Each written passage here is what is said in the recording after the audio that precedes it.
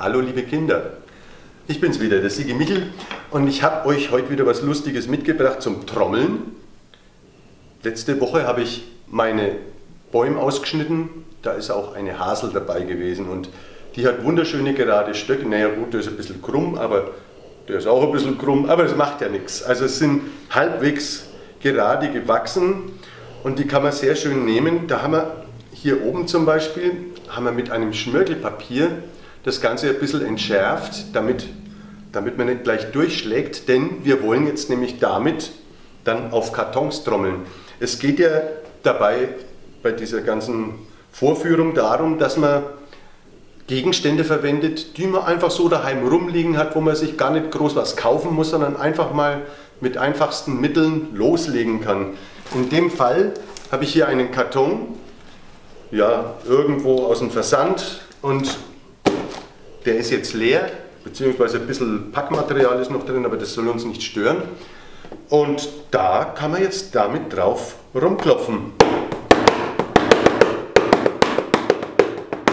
Und ihr seht, dadurch, dass die Kanten jetzt entschärft sind, geht auch der Karton überhaupt nicht kaputt. Der bleibt einfach ganz und hat da ganz lange Freude dran und kann auf diesem Karton umeinander klopfen, wie man lustig ist.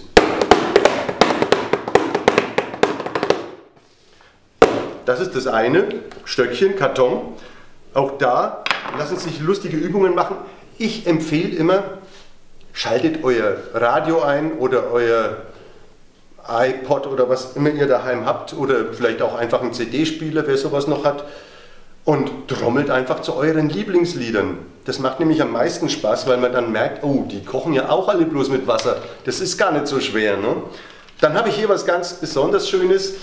Das war früher in, im früheren Leben ein kleiner Joghurteimer. Also da, nee, da war irgend so ein Joghurttrink drin. Ich weiß es nicht. Ist ja auch egal, was das für ein Joghurttrink war. Es war jedenfalls einer. Mittlerweile sind da kleine Steine von der Straße drin und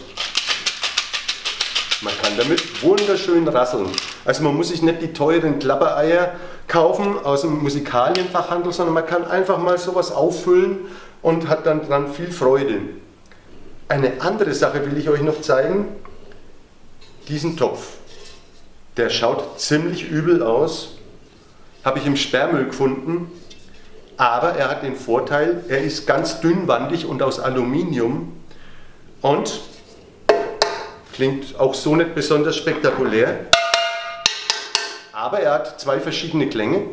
Einmal am Rand einen sehr dumpfen und einmal am Boden einen sehr klaren, hellen Ton. Das heißt also, der Boden ist deutlich dichter wie der Rand und klingt deshalb viel schöner. Und da machen wir jetzt was Besonderes damit. Und zwar fülle ich da jetzt Wasser rein. Ich habe das vorbereitet, da ist Wasser drin in, der, in diesem Topf. Das ist ein alter Blumentopf, also müsst ihr jetzt nicht verwenden, weil da sind Löcher drin. Ich glaube, das gibt jetzt eine Sauerei, aber schauen wir mal. Hm, das langt, glaube ich. So, und jetzt passt mal auf, was aus diesem Topf für ein wunderschöner Klang rauskommt.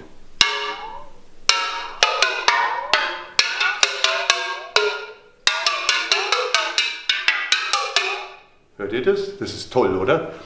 Und dadurch, dass ich das Wasser im Topf umeinander schwenke, klingt es dann so oi, oi, oi, oi, oi. Ne? Das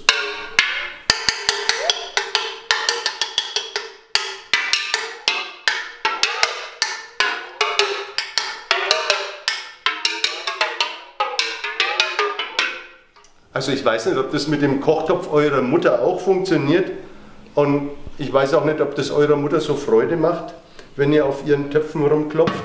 Aber wenn ihr mal so einen alten Alutopf finden solltet, dann nehmt ihn unbedingt mit. Das ist ein unbezahlbares Rhythmusgerät. Für solche Effekte zahlt man im Fachhandel ganz viel Geld und da liegt es einfach auf der Straße rum. Ja, das sind die Instrumente, die ich euch heute zeigen wollte. Und vielleicht finde ich wieder neue Sachen und dann machen wir wieder einen neuen Film. Und bis dahin freue ich mich, wenn ihr viel Spaß dran habt. Tschüss, euer Sigi.